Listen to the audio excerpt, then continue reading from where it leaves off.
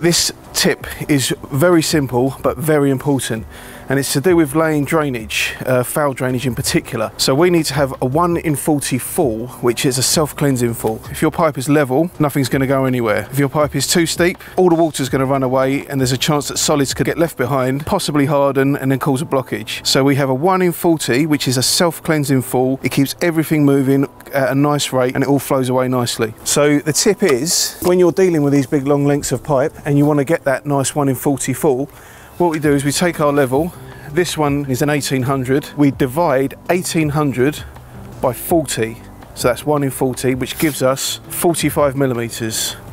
So we tape a 45 millimetre block on that end. We lay the level onto the pipe with the block at the lower end. And if our vial's showing us level, we've got a 1 in 44. Great for drainage, perfect for drainage, but you can also use this tip if you are laying a patio or if you're on a driveway and you need the water to run away from the house. We want it running away from the house as much as possible, but that's great for that. So you can obviously adjust your block to whatever kind of fall you want or you need. On a patio, you're probably not 1 in 40. Don't need 1 in 40, no, that's quite steep. 1 in 200 or something like that. Yeah, I mean, you, you could knock it right down to, to just the turn of a bubble.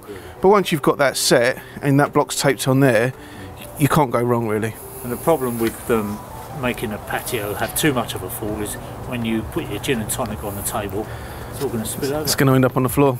Yeah. Okay, James, thanks very much. No problem.